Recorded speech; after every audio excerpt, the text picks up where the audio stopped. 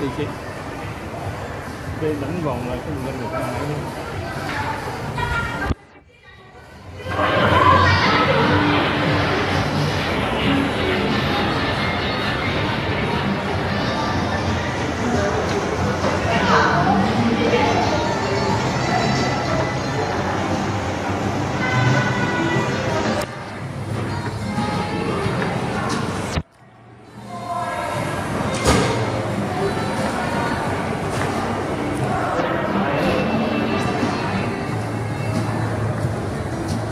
Thank you.